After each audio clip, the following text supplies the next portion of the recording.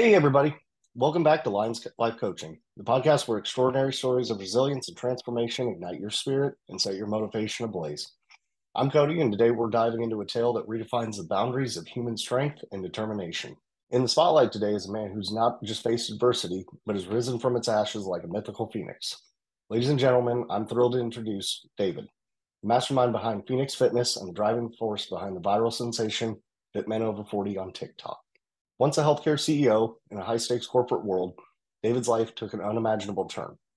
Faced with life with a life threatening brain tumor that led to a stroke, he found himself battling partial paralysis and an uncertain future. But where many saw an end, David saw a new beginning. With unwavering determination and a spirit that refused to be extinguished, David not only reclaimed his health, but also redefined his purpose. He left the security of his executive role to embark on a mission fueled by passion and empathy. Phoenix Fitness isn't just a brand, it's a testament to the indomitable human spirit, a beacon of hope for those who think their best days are behind them.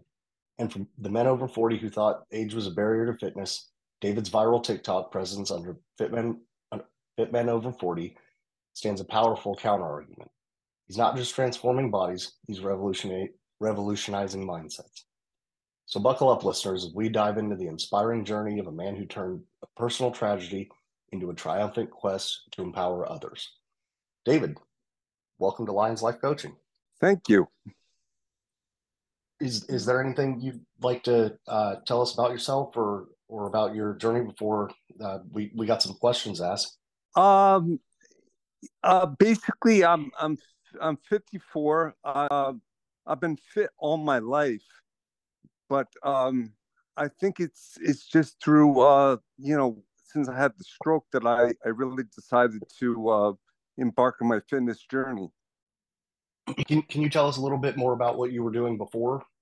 I was a healthcare CEO, worked I worked for a, a company that helped for about 15 years. I worked at a company that helped people mental issues as well as uh, substance abuse issues.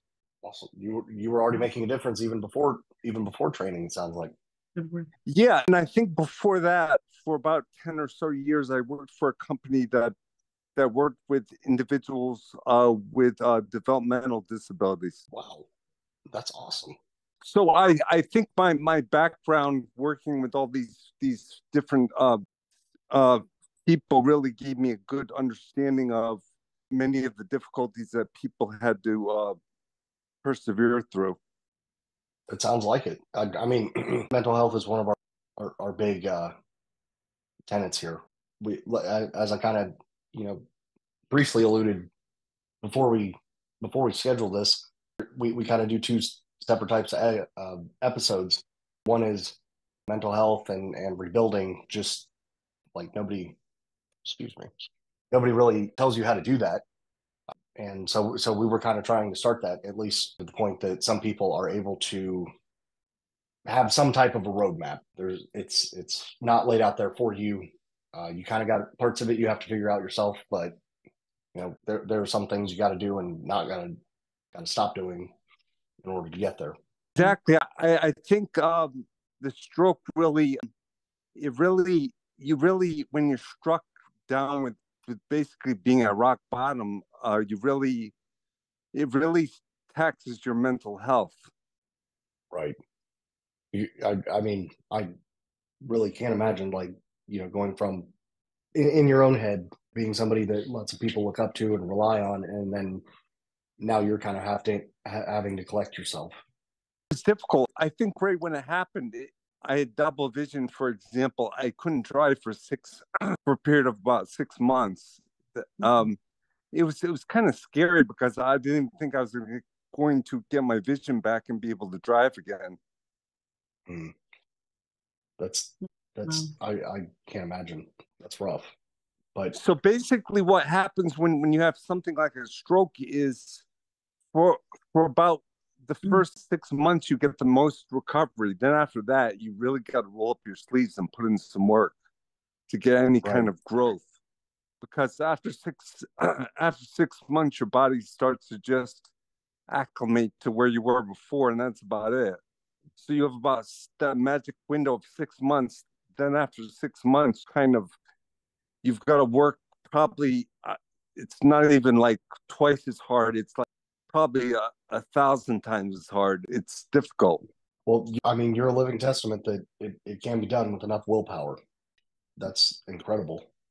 I, I think it's all about willpower and you know it's a combination i'll be honest it's a combination of uh, of doing the physical work as well as as the mental right deciding to quit at any point in time like you know again who would blame you that's that that's a lot to go through for anybody at any age. I'm not going to lie and say there weren't moments that that i didn't feel like quitting but you know you just can't. You've got to just mm. dig deep within yourself and i think one of the big things is is you have to almost hit like rock bottom where you just pick yourself up and really at the end of the day it's, it's really you versus you. I mean you have to save yourself.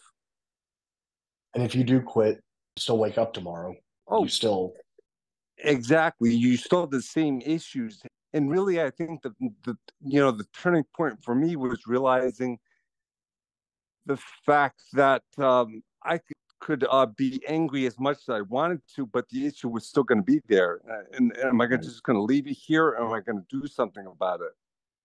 Right. Hmm. And yeah. uh, oh, sorry, Ashley.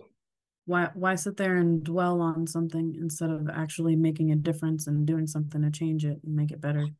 Hundred percent correct, and that that's kind of an attitude I, I I've taken since then. That any obstacle that I face, it's just like you know I can be mad about it or, or, you know just get upset or i could actually do something about it right getting mad about it doesn't accomplish anything it's it's it's done that's the the, uh, the attitude that i have it's done this is what i have to face how am i going to deal with it how how are you going to get back into things and and keep keep moving exactly well So I know you were a healthcare CEO.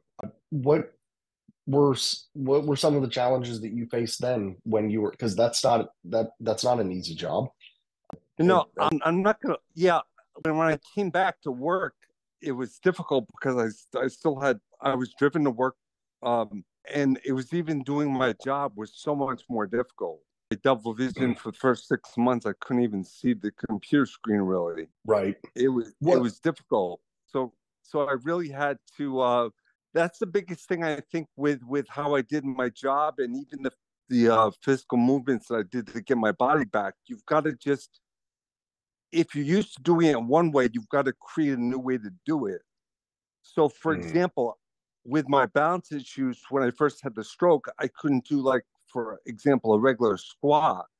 So what I did was I did a, you know, uh, like more of a Smith machine squat. So anything that you do, it doesn't matter if you're doing weights or you're doing your physical job, you've got to modify what you're doing. And that's one of the biggest things I think I, I got from this experience was the fact that, you know, there's more than one way of doing something. And right. even if you've got to modify, you know, you've got to hold onto the bar when you're doing a squat, or you've got to modify a bench press or something else, you know, some aspect of your job, you've got to just be creative with I can't do it the way I used to. How am I going to do it now?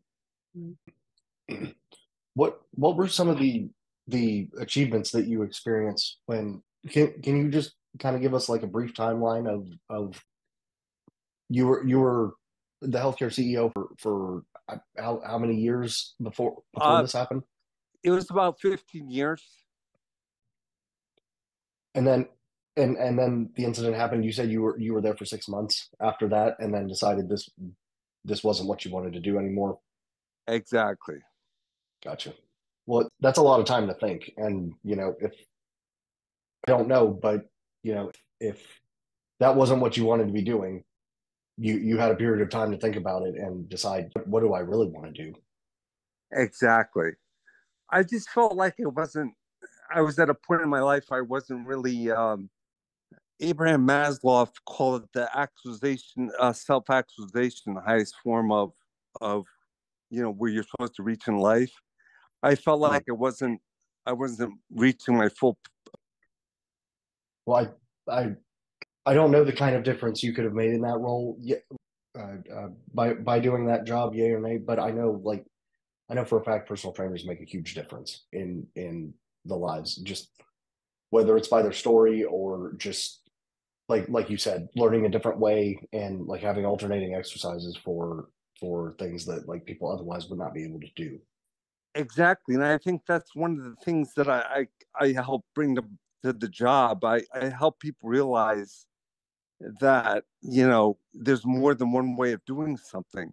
Unfortunately, right. I think if you look, um, you know, on on different uh, platforms that are out there, there's all these trainers that just like they're like one trick ponies. They're you know, there's only one way of doing something, and you you've got to do keto or carnivore or or Mediterranean or all these different diets, or there's only one way of doing certain types of to build chest, you got to do this. If you want abs, you got to do this. It's all a bunch of nonsense. At the end of the day, there's so many different ways to get abs. There's so many different ways to mm. to get to your dream body. There's so many different ways to get that chest you want. You know, right. it, that's one of the things that, that I think that that this you know the stroke really caused me to realize is there's more than one way of doing something and it might not be the most efficient but it gets you to the same point. Right. And if that's all you have that's that's good enough. That's it, if it's getting you there that's what matters. It like exactly we were earlier. It's a journey and i i think it's a journey with yourself. It's not about you comparing yourself to other people. It's about it's you versus you. I i agree 100% Ashley, do you want to get the the next question Okay. How do you think your experience has shaped your approach to fitness and personal training? I think, pardon me, I think my experience has, has really um, helped me to realize, I mentioned a moment ago, there's more than one way of doing something. And really, it's given me more of a perspective that, uh, you know, I've become more of, of, a, of a client first. So as a client i realize what i need as far as you know how to Im- make improvements and what i can do and what i can't do what, what my limitations are. So i think it's given me a different perspective of the whole situation rather than being before um, you know in the past you know i think i would have had more of a mindset of you know why can't you do this or this is easy or you know, I can get abs or I can get this or I can do that. Dieting is easy or this is easy. But I think with having the stroke and having the, uh, the limitations that I did, it made me realize that these these people that I'm I'm dealing with have just as many, if not more, issues than I do. They have just as, as many uh, limiting beliefs as I do. They have just as many struggles. So it's made me more empathetic i think. That definitely makes sense. I think that uh in my opinion everything happens for a reason and i mean i know that you went through a hard time but i feel like it helped you get to where you are now and i hope that it's a happier place for you Oh, I thank you for saying that. I think you're 100% correct. Everything does happen for a reason. And at the end of the day, I'm a stronger person now than I was when this happened. Eh, you know, I think that uh, we all tend to, tend to take things for, for granted. I was no different, even seeing or walking or talking. Let's be honest, we all take it for granted and we all worry about, oh, I just got this cup of coffee and they, screwed up the order or, or this happened or that happened or this, this is, you know, at the end of the day, that's all stupid stuff. We worry about the little stuff and then we take things so much for granted. And it's not till it's not till you lose your sight or your vision or your ability to walk or talk that you really realize the important things in life. And i think it, it helped me with a perspective as a trainer to realize at the end of the day health equals wealth the most important mm. thing you could have all the money in the world that you want if you don't have good health, you can't enjoy it. You can't do any you of the can't do anything. No, yeah. you can't. both mental and physical. Yeah, it's, You're 100% correct. I'm glad you brought up the men- mental part because too often, I mm. think, as you mentioned before, people don't really take into account the importance of good mental health. they lot really don't. Yeah, you, That's- you need to not only work like you said on your body, but you need to work on your mind, your soul. You need to have all of it. That's why I think in the upcoming year, I'm looking more towards more of a, a holistic mind, body, spirit kind of training. That's great. I think this is going to be a, a better year for everyone. I think every, at, at least for the most, the majority of the folks that I've talked to over the past maybe two years, everybody's can, been having kind of a hard time of it. It it's just been a rough period. Just It's been, it's been a real rough after period. COVID. Exactly. I think COVID really hit a lot of people very hard with their mental health. Yes, yeah, that was. Yeah, I I know I was not, I was not cut out for it even at the time, and I'm I'm kind of a homebody. I work from home. The only time I really go anywhere is groceries and the gym. That's. And, I and that was I feel worse for the, the kids uh, that had to go to school at the time because it's it's Yeah. just that it's got to be so difficult. we have a trainer that his senior year was in during COVID, and you know that's the that's the time that you look up to, and you're like, it's gonna, you know, even if you had kind of like crappy high school experience, your senior year's gonna, gonna like at least some of that's gonna pay off, Exactly. and so. All right. So, uh, what was your lifestyle like during your tenure as a CEO, and how did it contribute to your health journey? Um, I was very active. I had, a, as a CEO, I had a very hands-on approach with both my staff and the clients that I served.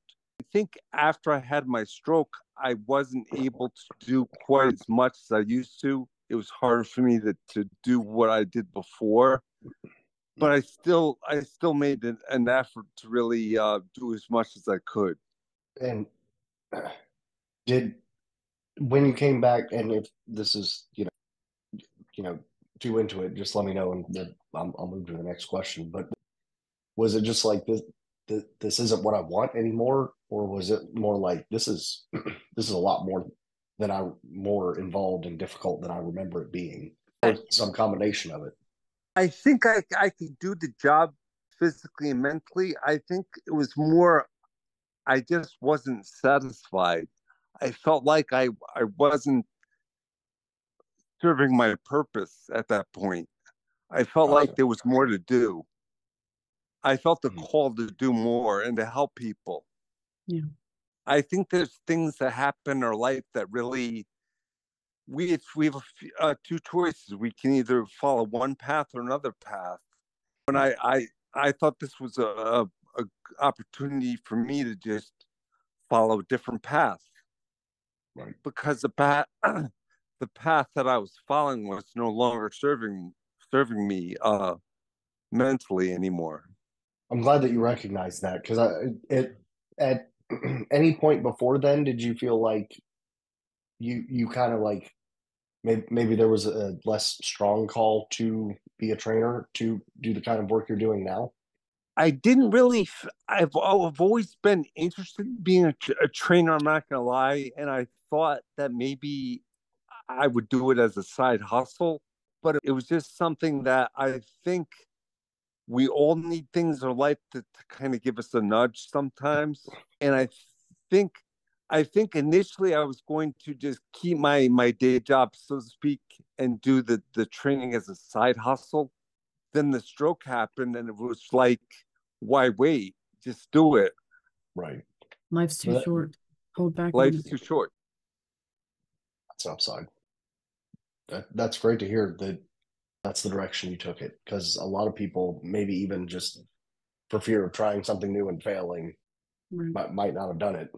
yeah i mean i think i reached a point where when you hit when you hit a point where you're so low and almost rock bottom you're just like i've got nothing else to lose the only thing i can do is is rise up from here and that's always been my my my my attitude that once you get to rock bottom, that's what I don't understand when, when when people say, "Well, you have to hit rock bottom." Some people hit rock bottom and they never rise up, but uh, there are others that reach rock bottom and they're like, "I'm not going any lower, and I'm going to rise up." And that was my attitude. Just shows your character and what kind of person you were. And unfortunately, you, you see people, and I used to see it um, in in the health health field with dealing with people who had uh, drug issues. That some of these people, they would hit rock bottom, but they could never lift themselves up.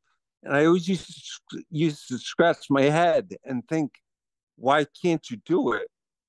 You know, and I think I think the stroke really gave I really had to put up or shut up with the stroke because I always talk to talk, but now I had to actually walk the walk. Right. Okay, you you bring that up, but I and sorry, I agree with your actions. Like I, I feel the same way.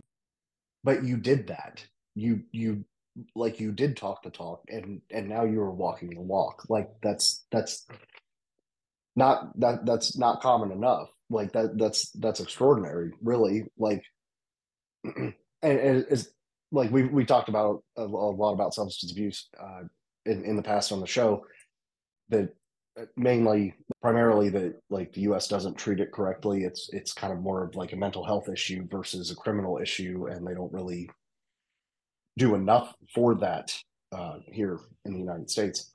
Uh but yes. it's uh, like like even if if the folks stop using the drugs, that doesn't that doesn't give them the purpose. Kind of kind of you know like that doesn't fix that. That was one of their problems. You know, the rest of their problems. Exactly, and it's just so. For example, we would have people on certain that would use certain drugs, and they would be given yet another drug like Suboxone, and and it's just like to me, you've got to just do one or the. You've got to just do cold turkey, and that's one of the things. At least for myself, I'm not trying to judge, but for myself, I've always been been someone who just, if I say I'm going to do something, I do it, and you know I don't care. Like a cold plunge, you know, I'm not the type that's going to dip my my foot in the water. I'm just going to jump in yeah, just jump in and and just deal with it.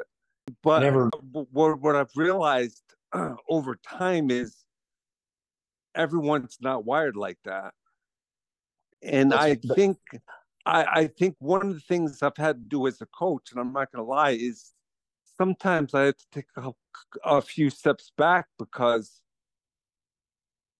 I have my way of doing something, but everyone doesn't have their way of doing something. And sometimes I've had to hold people a little bit more by the hand, where I'd be the type that would more just do it and not complain.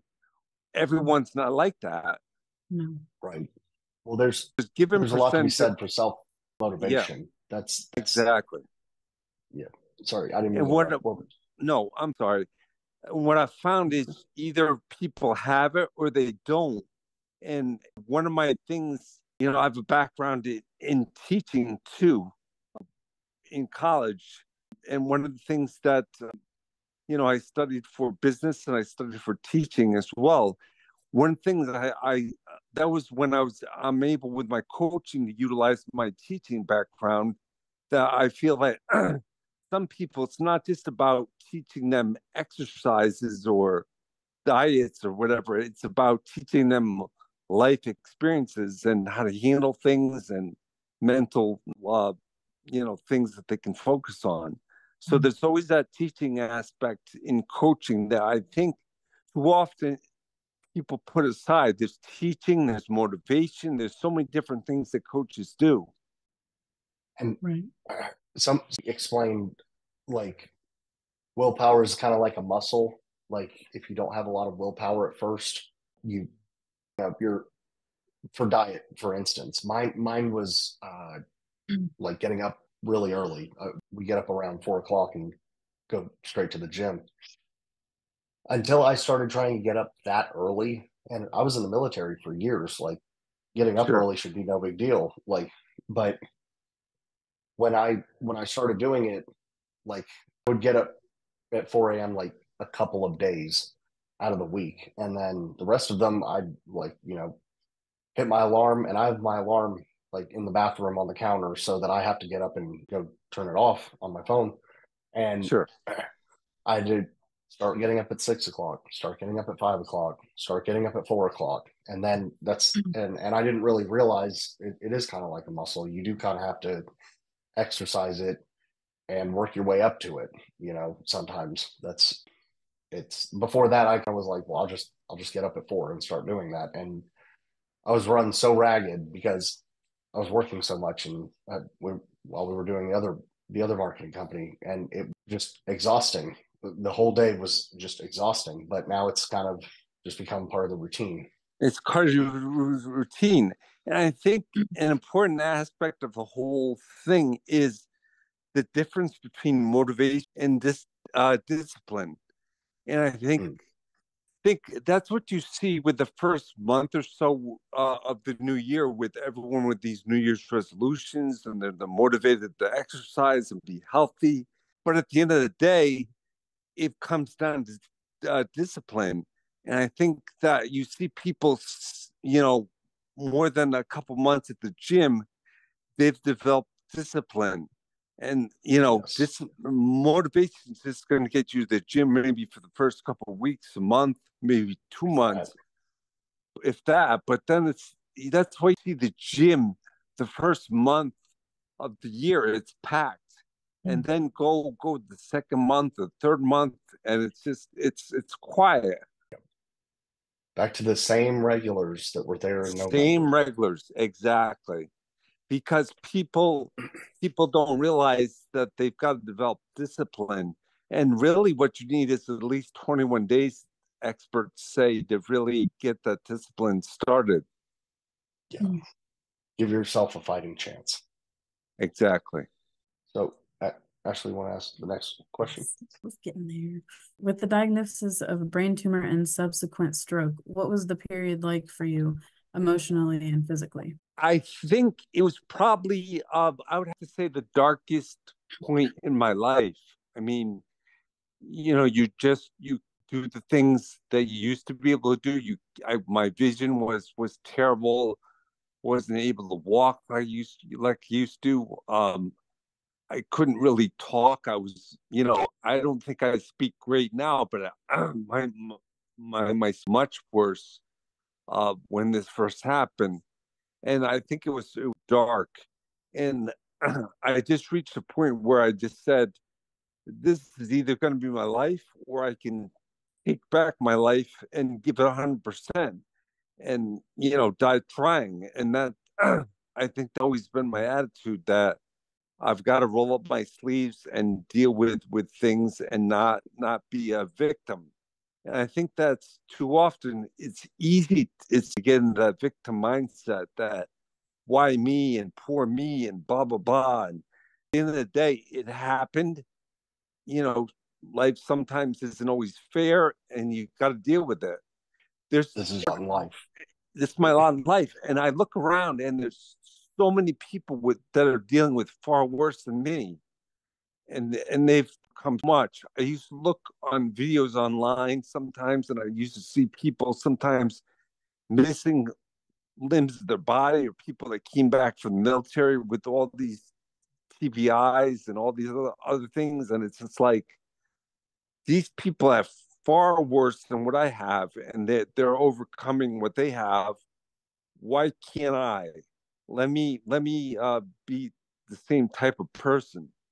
I mean, Mhm. there's some, you know, there's so many people out there that are so inspirational that if you see them, so it's just like, you know, you you can uh, be a victim, or you can a victim in, into being somebody who's actually going to be a leader and someone who's going to actually, you know, walk the walk. Right. And- You're gonna let something hold you back from, you know, making a difference or doing something you want to do. Or are you just gonna Exactly. and let that stop you?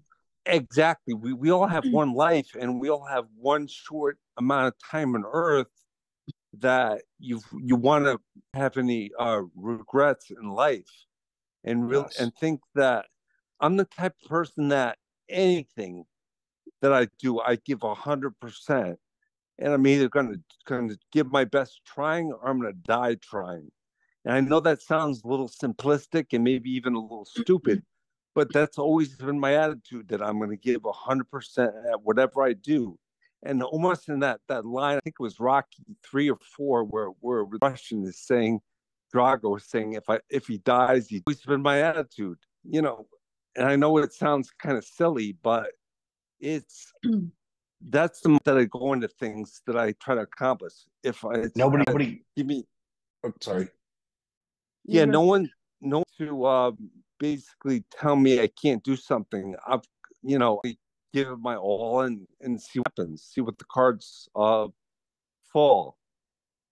Like it's I I said it's like a simplistic viewpoint, but really like nobody gets out alive. Like what better option do you really have than to, you know, have the or die trying mindset?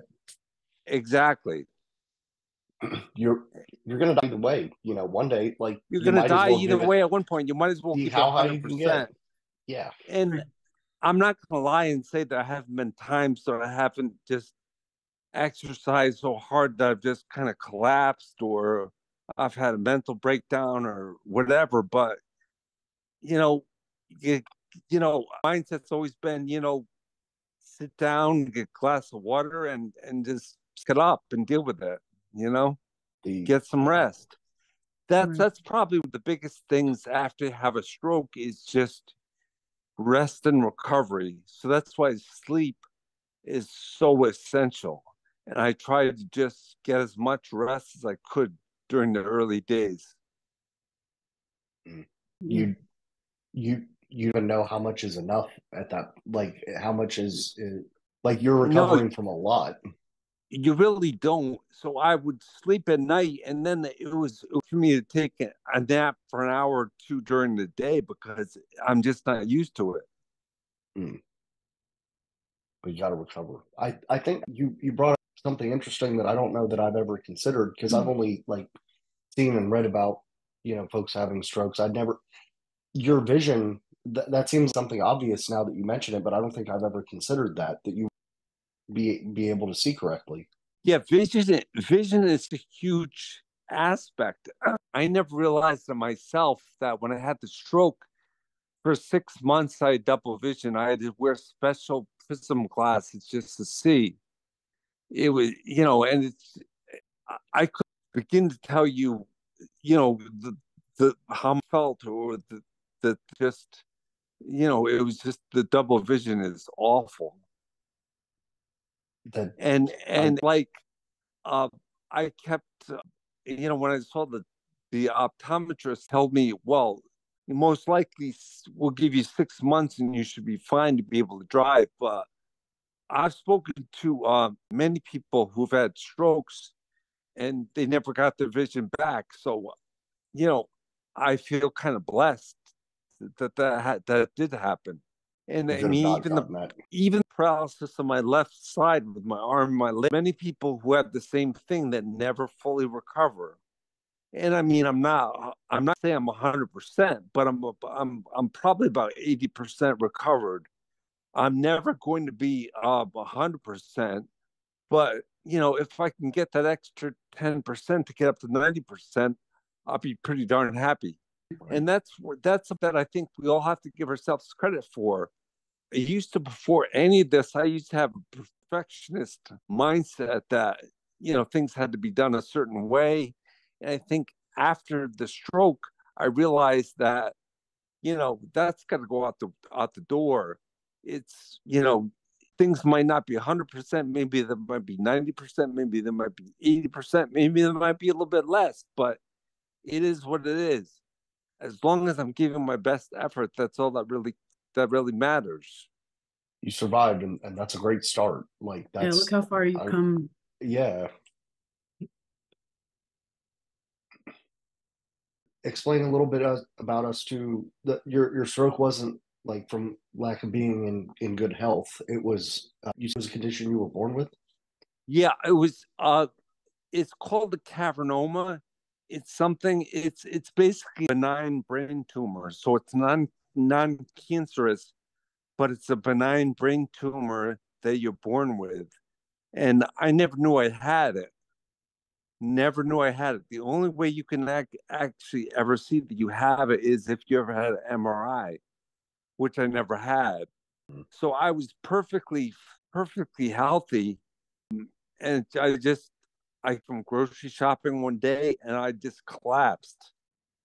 That's and I mean, I I started I started vomiting and and just my head was spinning and I I didn't know what was going on. They took took one hospital which is is close. Then they they couldn't tell what was wrong, so then they put me in the ambulance, and took me to another hospital and it's it's scary because you know the, the, the you know wondering what's going on and the, you know this one one uh, when I went to the first hospital they told me well there's a mass in your your brain and you know they they freak out. You know what's what's going here? Right. You know and, and it, it wasn't yeah that that time in the hospital was the worst. Anyone who's ever been in the hospital it's like you're exhausted from the stroke and every hour on the hour they're checking your vitals. It's all you can't get any rest. yeah there's no rest all all i needed was rest and these people weren't giving me any rest it's just constant you know what are your vitals and i understand they had their job to do but it's just like all i wanted to do was rest and my head was was you begin to imagine you know i'm i'm I'm in pain. I can deal with a lot of pain, but the the pain in my head was just like you you can't even describe it. It's like somebody took a sledgehammer to your head. That's crazy. Well, I'm sorry that you had to go through that, but no, mm-hmm. thank you. All right.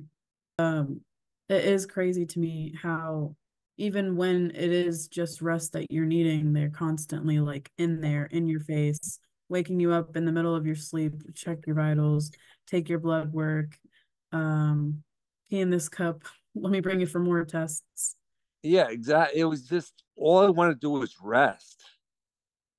I got in the hospital. So I I was in the hospital for I think three or four days. And then when I was dis- discharged, I had an appointment, appointment with with um, with uh, my neurologist, and basically it was it was dark appointment. That basically told me the neurologist told me basically that my life was it basically told told my life was over basically. By you this know, point, they determined what what the cause of it was. They did with with the with the cavernoma, your brain just kind of bleeds sometimes. It it just whatever reason it was probably stress. But but you know they they basically like you know you might not get your vision back and, and you might not walk again you might not, not do this again or that again you might not get you know your arm back and and basically at the appointment feeling I've never, never felt low in my life, you know, but it was just like I had two choices at that point. I could just be a victim or I can just decide, screw what the doctor said. And that was probably one of the times in my life where I just realized that after that point, where I'm not going to listen to doctors, I'm going to be my own doctor. So sounds like you, you know, made the right call there. Yeah, I basically I I did own rehab. I took I did the rehab that they had me do for like three months, and I never did it after that. I did my own rehab. No one knows me like I I do. With a thirty minute rehab, you know, going to these rehab centers, you're not going to get better. You've got to push. You've got to really do do things hours and hours and repetition because basically think think of a stroke of take, taking your uh, cell phone and throwing it into a swimming pool. It's going to short circuit. And that's exactly what your brain does. So, what you have to do is you have to build back those neural pathways through neuroplasticity. and that's what I had to do. It's I can't tell you how many how many times. It's not one time or a hundred times or it's thousands and thousands of times do something to get it right all over mm-hmm. again. And and there, I'll be honest with you, there are days that you don't want to do it. But it's like days like you said that at four o'clock in the morning, you don't want to get up, but you just do it because you know you have to. No one's going to do it for you. Yeah, that's exactly right. Yeah. Just because you don't want to do it doesn't mean that you shouldn't. Exactly. All right during your recovery, were there any specific moments or people that significantly influenced your path to healing? I think there were, there was a moment in particular where I was outside and and it was raining and I I fell grass. And I'll be honest, I I am getting a mouthful of dirt. And it's just like I don't know if you've ever seen uh what was it? The the Die Hard uh, not the movie the uh, uh, what was that movie with with uh, with Mel Gibson uh, Lethal Weapon the hmm. first hmm. Lethal Weapon where the fight scene at the end of the movie where Mel Gibson's fighting with that guy and he, he his head the guy pushes his head in the water and is trying to almost almost drown him or something you know right that's the thing I got that it's just like I had this, this mouthful of dirt and it's just like this is like the lowest point in my life that, that I ever had. And it's just like I can either be the victim or I can can rise, be the phoenix rising from the ashes. And I think the other thing was I had two younger kids at the at the time that my kids motivated me as well to get better. That's always good to have that. It was. But one one of the things you realize is we all think we have a lot of friends. And I'll be the first to admit I had a lot of friends. But after something like this, like this happens, you realize that there's uh, you might have you might know a lot of people you might know a lot of people but a lot of these people are fair weather friends yeah. they're there they're, you know when times are good or where you're you know you're buying the drinks or doing this or that or you know but when times are tough they might say, "Oh, I feel bad for you," or this or that. You never hear from them again. Right. You know, it's, and that was difficult to be. It's difficult to be friends with you mm. now when when you're through something and when you might need help. Oh yeah, exactly. But you realize the number of true friends. If you have you the number of friends on one hand, and you're you're actually true friends. Yeah. And I think that's that's this really it made me realize that you know, the type of person that if you're broken down at two o'clock in the morning or you're in jail or, or something happened, these people are going to be there for you. True friends. There's a lot of fake friends out there, but true friends. And I think, you know, the, the, the stroke made me realize that, you know, there's a lot of fake people out there. Oh, yes. Yeah. there is And I think it's I'd rather have two very close friends who actually have my back and are honest than a million friends out there. 100% correct. Definitely. How did your your health changes uh, sorry, how did your health challenges influence your philosophy? Like you talked a little bit about like the it, it requires a lot of mental fortitude and, and you've kind of been building on that that picture this whole time to to rebuild that. Can you can you tell us a little bit more about that? Really had to uh, build up my men. I thought I was was t- tough uh, mentally before all this, but I mean, I really realized that I still had work to do. So it, you know, it really helped me to to really realize that I've got to build up my mental strength. I thought I was tough mentally before, but I was weak and I really, um, I think this really made me realize that I, I still have a lot of work to do. And I mean, okay, it's you, just kind of like what what I said before, where every area of your life you've got to really look at. So my my mental uh, focus, I had to look at my my uh, my uh, lifting with weights I had to look at, my cardio I had to look at, my my nutrition I look at, everything. And I'm I don't want to discount the change in any way that you have like demonstrated that you have gone through, but it requires a lot of mental fortitude to be able to even recover, e- even go through the change of getting to who you are now, but still had to require an immense amount of resolve beforehand. Most definitely. I, you've you've got to. I think the main point of all this is you can either choose to be the victim or you can be the phoenix rising from the ashes. And I mean, you know, things we we're all faced with obstacles, and I think we all have a choice whether we're going to do things one way or whether how we're going to react one way or we're going to react react a, a different way. And I think at the end of the day, it all comes down to this. There's an old expression: life is one percent what happens to you, and ninety five uh, one uh, what happens to you, and ninety nine percent how you read what happens to you something like yeah. that. It might be five yeah, percent what happens to you and ninety five percent how you react to it. And I think that's really that's really uh, life in a nutshell. Yeah, I agree, especially because like there's so many people out there who they'll have something bad happen to them or go through something a hardship and they'll automatically just blame all of the bad stuff that happens to them afterwards on that. Oh. Like, oh, I lost my job and I am living on the street now because this happened to me. No, you're doing you're doing that because you're Ex- doing exactly. You're you're 100 percent correct, Ashley. And I think that's the victim mindset. Mm-hmm.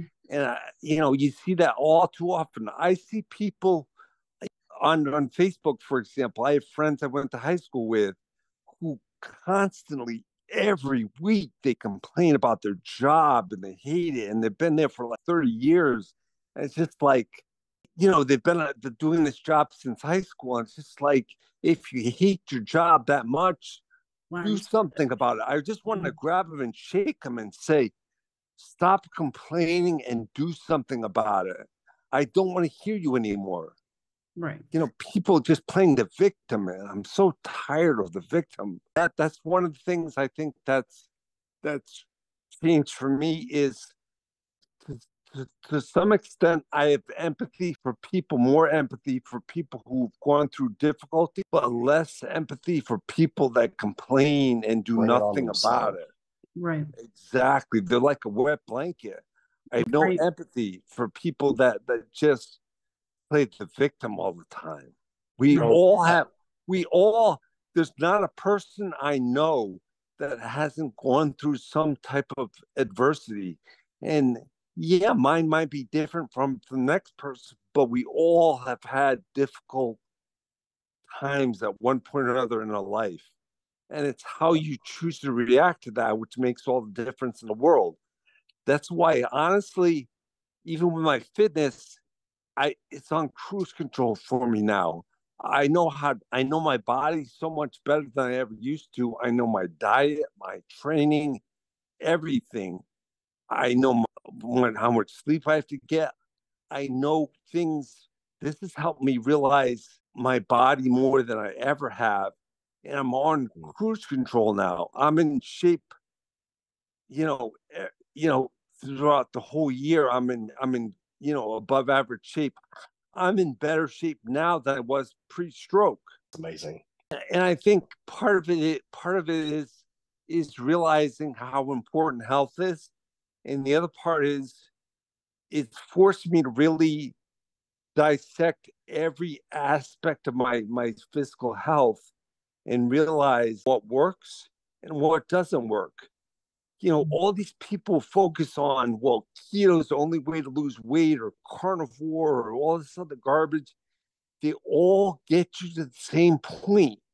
They might, some might be a little more effective than others, but they all get to the same point. These, these people that are like, well, you can't eat carbs, or you can't do this or that, or there's only way to do this, this type of this exercise, if you want to build abs, there's only this type of movement. It's all just a bunch of garbage. And I think that's one of the things that irritates me so much about trainers sometimes is there's a certain percentage of them that just they're not about helping people get get themselves in better shape. They're about just what worked for them and and making money. And it's so much more than that. So much more than that. And I think that uh, you know the element of people that just you know, yeah, what they did for their abs, for example, might have helped them get abs, but there's more than one way to get abs. And abs at the end of the day, they're giving these, you know, I see these stupid videos online, these well, do these, these three ab exercises. 90% of abs, you know, at least 80 or 90% of abs, it's all about nutrition. Has nothing to do at all with these stupid ab exercise. I can have abs without even even doing any ab exercise. And I think that's one of the things that bothers me is when I see in the fitness in the industry with all this pushing of supplements and all this other crap to be honest, I don't take any supplements. Mm-hmm. You know, you don't have to. And I mean, I view it as fitness is about 70% nutrition, about 25% um, you know, the physical training with weights, and about 5% supplements. But I mean, if you see some of these people online, they're they're practically like like 90% of, of everything is, is supplements they'll have people that you know the they're advocating you know use my coupon code and spend hundreds of dollars a month on supplements yeah. supplements aren't going to get you a good body you know i, I mean I, I, don't disagree with you at, at all but i i think and i i, I know the, the the exact group of folks you're you're referencing because they they do make money off of the affiliate supplement and i, I mean I, i'm not trying to you know, I think I'm just opinionated well, sometimes with my, my no, no, what I say. Sometimes, you know, I don't mean disrespect to anyone. If like you and I talked about, if someone wants to use tea or steroids right. or whatever, that's their business. I think a lot of it stems from like the the the trainers see a lot of people's diets. They see a lot of that, and they see how much yeah. is missing out of the that, yeah. that they need. Now, whether or not they recommend the the right thing to fill in those gaps, or whether they just you know make a profit on it, is that that's yeah pro- probably more. But yeah, I agree hundred percent that it's at least sixty or seventy percent nutrition to, to getting in shape. I think I think the biggest thing with supplements are like you mentioned, they're meant to supplement what you're missing in your diet. So yes, if you're missing certain things in your diet, take them. Don't go overboard. But just don't overboard. I mean, I see. Yeah, you don't need. In my mind, you know, I don't take pre workouts. I'm not going to take. uh You know, you know, they have you take uh these pills to help digest carbs better. All this garbage out there. There's it's just you know, you might need, you know, a, a few supplements out there for certain vitamins and stuff, but that's about it. A, a, multivitamin that's that's a great place to start that's yeah it's a great I, place to start I, I stand by that magnesium and potassium are about the potassium maybe vitamin d3 with k2 um, yeah. you know something like that like that zinc zinc is good for yes. t- testosterone ashwagandha maybe that's, you know. Yeah, there's there's somebody in my family who has gone way overboard with the pill taking. She takes like millions of supplements and pills in general, ones that she doesn't need, but she constantly she's a hypochondriac. Is that what it's called? Yeah. Yeah, exactly.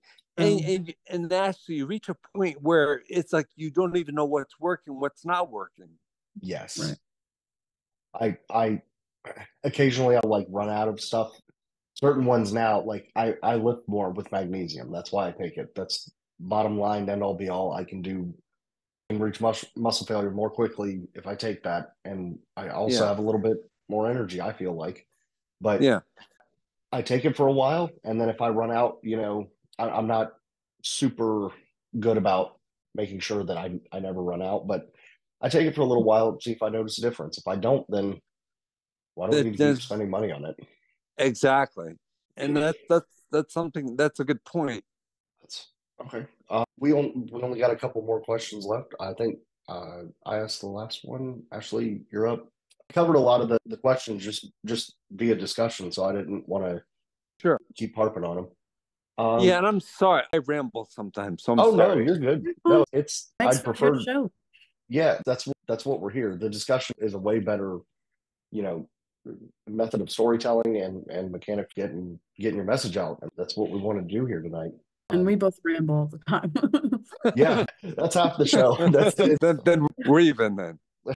Okay, well, I'll, I'll ask one, and then Ashley, you can ask one, and I, I think that's I think we've covered about everything else. Uh, your story is is a source of inspiration for sure. That was the the main reason that I wanted you on the show is is I wanted people to hear your story because it's it's incredible, and and people have done so much less in their life and been, having been given so much more, and and not to throw it into a religious discussion, but you know, whom whom much is given, much is expected but I, I I just see so many people do do so so or yeah so much less with with given more like you say and they complain and uh, as of recent like I got I I've reached a point too where I'm I'm tired of seeing the same people from from high school complaining about this that and the third and they're not making any changes at all Exactly. to and, and you can't complain about it if you're if you're doing everything in your power and there's nothing you can do you know okay all right you know this sucks you know that it is what it is. But i've just gotten comfortable. I don't care if they've been a friend since high school. How often do i what you said are they going to be there for me? Are they going to speak at my funeral? No? Okay i don't need Yeah. them on my on my facebook. I don't need them on my social media. Just Exactly. to see i'm i'm trying to get better in in in all of the ways that i'm trying to. You you the same. And it, I, I just don't think it's healthy to keep up with them. It's a drain, if anything. Um, Yeah, I but I think I think one thing um one point I wanted to make is if you kind of want to see what your futures take the average of, of maybe your your your friends, maybe five or ten of your friends, average all of them. So maybe some friends are fives and some are eights and some are sixes. Average them all up. Mm. That's going to be your future. So if you want your future to be better, you got to be hanging around the right people. that's So I mean, I'd be the first to admit I can count the number of, of people I, I that are friends or people I hang around with on one hand. It used to be multiple hands I used to count people on. But it's just like there's so many phonies out there and fakes. the more, and, and part of it is too when you start like your family and you kind of like, do I really want those people in my family? They're friends and all, but are they kind of you know people that I want integrating with my family? Is that They're, they're exactly what I call fair weather friends. They're Yeah. there for you when times are good, but when times get tough, they don't want to hear. You'll never hear. You'll never hear from them again. I, I agree with that. And one of the, we actually did a podcast on that involving family and friends, people who have done so much to you in your life or just aren't actually your friend and are just fake in your life and are just trying to drag you Exactly. be with them. There's so many fake people out there. That's that's why it's important when you find a, a true friend uh, to nurture that uh, relationship. I agree. It's Yes. and it's hard to know because you still have to you meet someone new you kind of have to nurture it for a while before you see their actions and see if they line up with what they're saying or not so it, it's a gamble kind of at the end of the day no matter what It's hard sometimes, and I think we've all had experiences where people uh, that we thought were really good friends have stabbed us in the back at some point or another. oh definitely but that's the size of it that's su- such is life Yes. Um, and so- it might hurt, but sometimes it's like you need to get them out of your life. Exactly. yeah so your your story is is inspirational and and that's why i wanted you uh, here on the show today what message do you want to share with those who are facing their own health or, or mental health challenges? Uh, basically, never give up. Always realize that um, you can do more than you give yourself credit credit for, and and you can accomplish so much if you put your your mind and your heart and your soul into it than you really thought that that that you could before. There's been so many things that I've faced that I thought I'm never going to be able to do this, and I um, I think back that you know when this first happened, I could be in a completely different reality right now if I just gave in and felt sorry for myself and played the victim versus where I am today.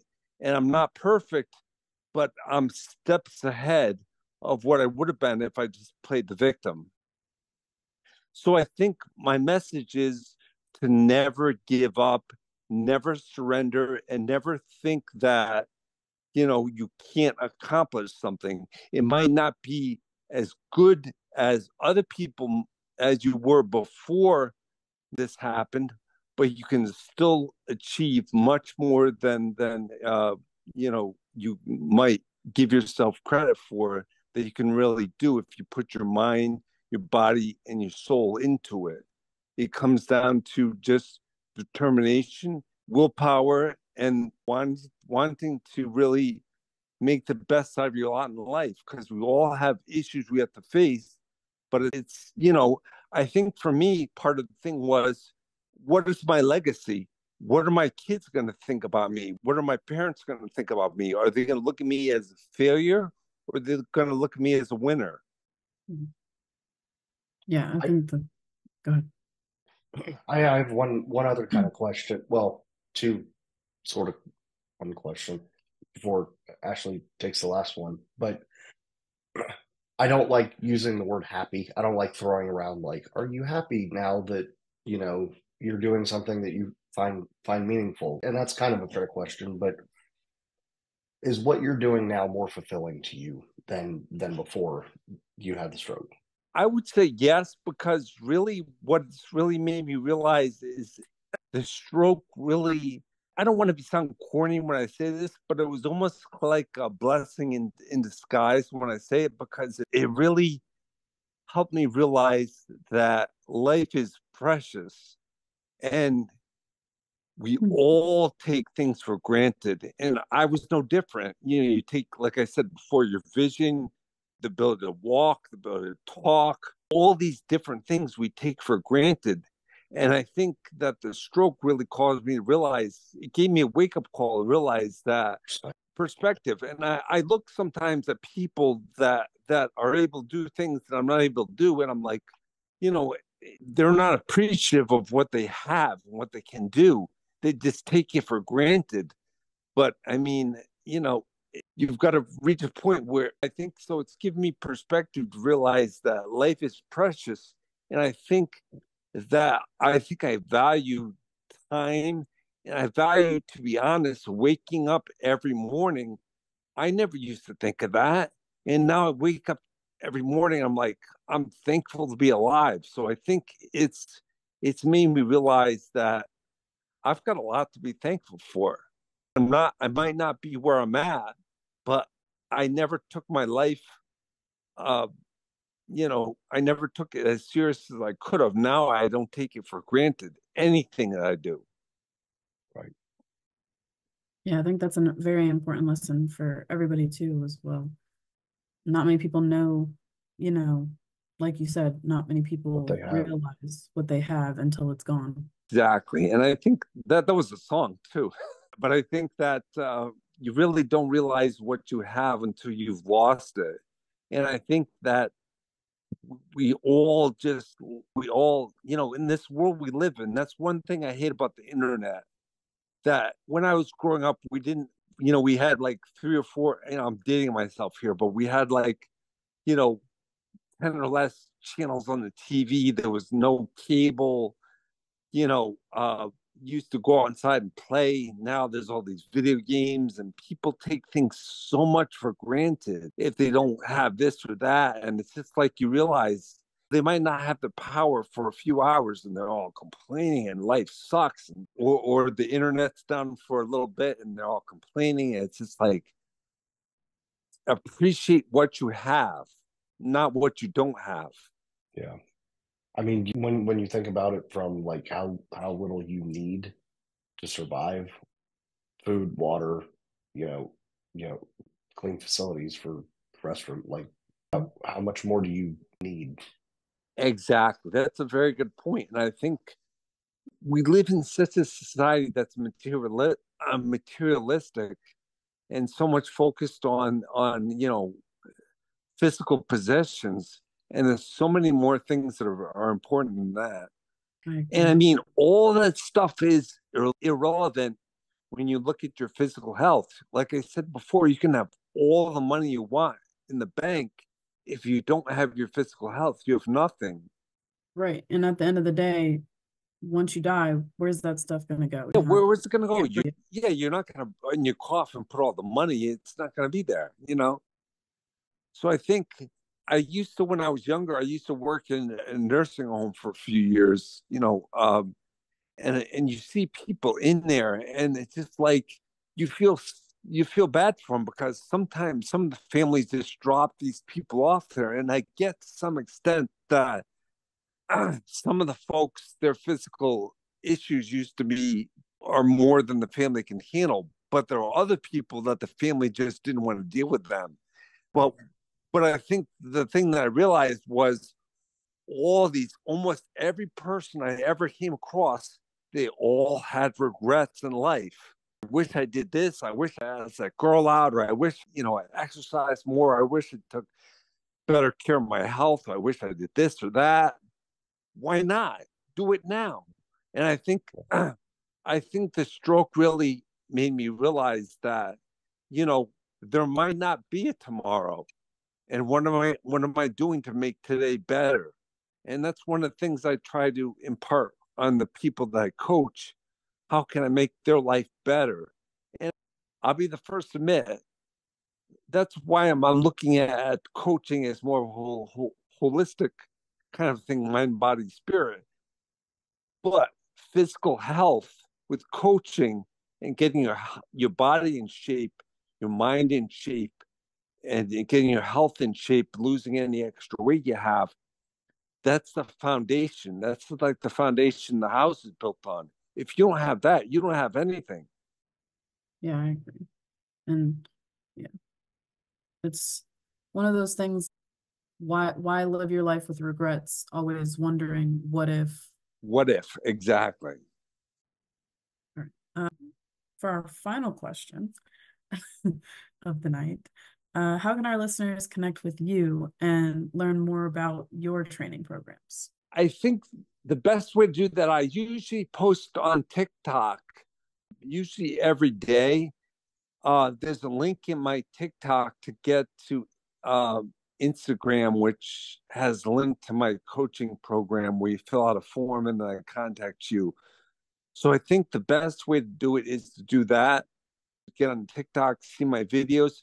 But you see from my videos, as as you had mentioned before, they're mixed some are about fitness, some are about about mindset, some are about all different things. Perfect. It's, That's what you want. That's and and I think fit fit men over forty is yeah. David, it's TikTok kind of handles. a mind. It's kind of a mind body spirit, and you know, I mean, there's been videos. If you look back, I talk about you know, if you're losing your hair, what do you do about it? You you have an issue uh, with with something else what do you do about it? You have issue with your testosterone. What do you do about it? Yeah, that's definitely very helpful. I think that's a good thing to have out there because many people they don't actually know what to do if something happens. They just go Ex- about exactly. And I think that's when when something that that I've always something I'm I'm noticing that you know I have an, a health issue you know, I focus my effort on how can I solve this problem. That's been a big thing with my stroke.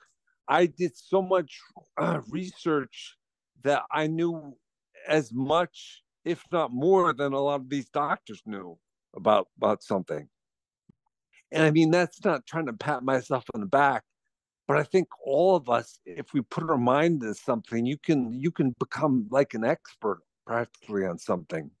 Eh, that's there's a great divide slash debate in the trainer community of of like do trainers know more than doctors eh, some is like yes some cases yeah they do. in some cases kind of, yeah it's like you said the the one trick pony fitness Instagram influencers. And the, these doctors sometimes telling you you need to lose weight, or you, these people need to lose weight, or they need this, this, this, or that.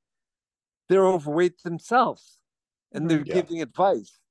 They're giving advice, or they're telling you how to do certain things, and and you know, I I laugh. I I get my yearly physical, but you know, I mean, you've got to to some extent be your own doctor. Yeah.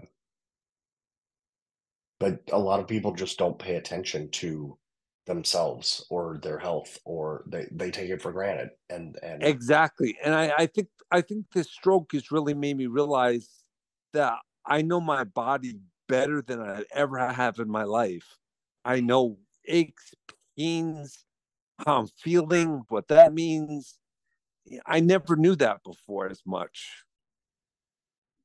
It really snaps you into place and makes you like research, find out all the information you can because you're you want to know and you want to be able to help yourself. Well, at the end of the day, the doctor's not going to. It's not his life. You know, he's not going to be the one that does or doesn't walk. Whether, whether oh, exactly. That's it, hundred percent. And and you might have these doctors for what is it, a, a fifteen minute or twenty minute appointment they're, they're not living your life.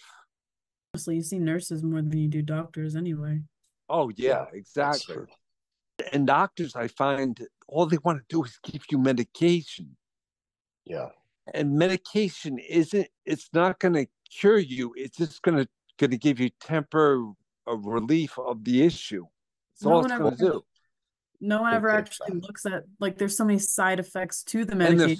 so many side effects. Even so as, even aspirin. There's so many side effects to all of that. Right.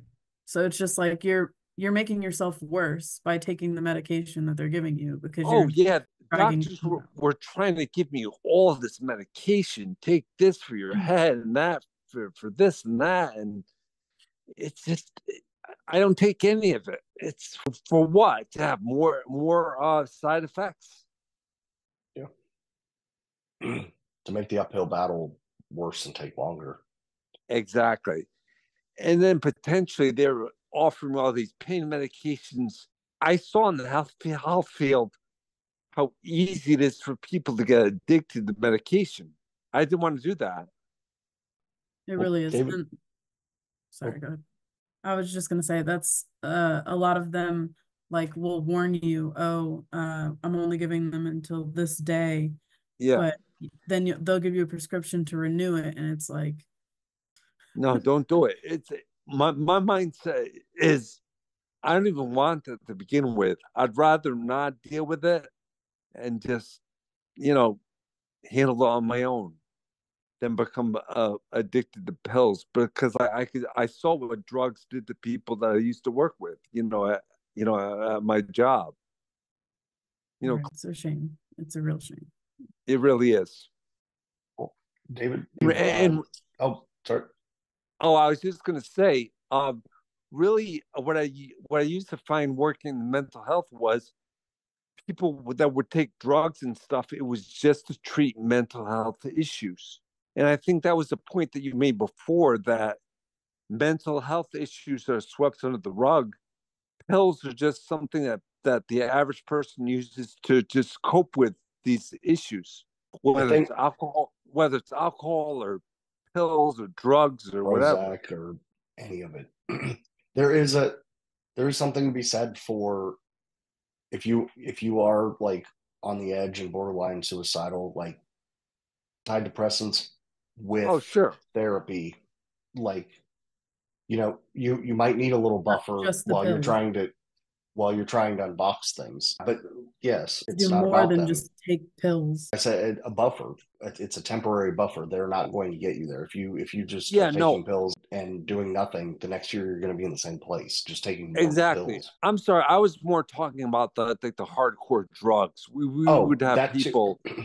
that I view them the in the same drugs. light. View them in the same light simply for the the kind of, kind of what you said about the mental health aspect. Like, I mean, people are still still, and, and this is my two cents, but they're still taking a substance to cope Mhm. with Yeah. whatever the problem is that they're facing, whether it's Percocet or Prozac or or alcohol or or any of it. If they are not actively working towards Suboxone, perfect example. Like, okay, like for for getting off of medication, off of, of heroin, you know, okay, or other opiates.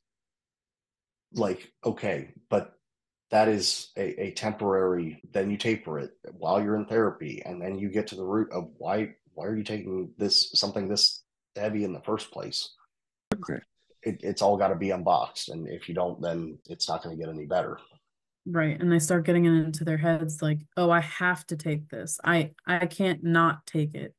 Exactly. Yeah. Well, I, I think that's about all the time we have. Uh, David, it's been it's been awesome to have you uh, here on the show with us. I I also like to say uh, at Fitmen Over Forty is uh, David's TikTok, Instagram, or um, TikTok handle. His Instagram is fit underscore men underscore over underscore forty. I think I got that correct. And he is Phoenix Fitness. So Thank you very much for having me. Thank you. Thank we, you for we coming. enjoyed having you. Yes. All the best uh, in the new year to uh, both of you, you as well. Thank You you. as well, David. Yes. yes.